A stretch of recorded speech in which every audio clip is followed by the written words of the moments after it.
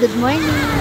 Tara, samahan niyo kami ng pamilya ko sa pagbisita sa isla ng Palawan dito sa Pilipinas.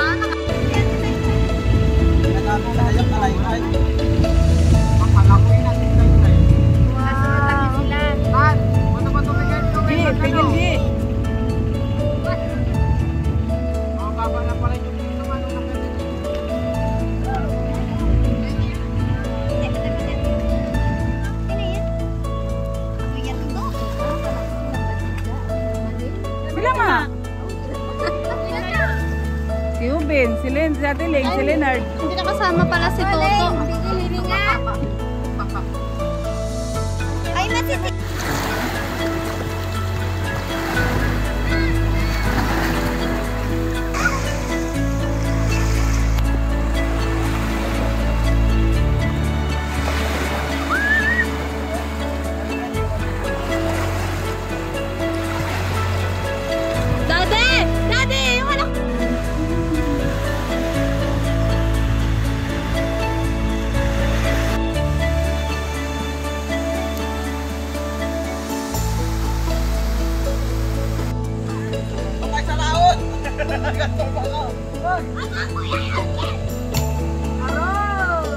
Napakasalbahe ni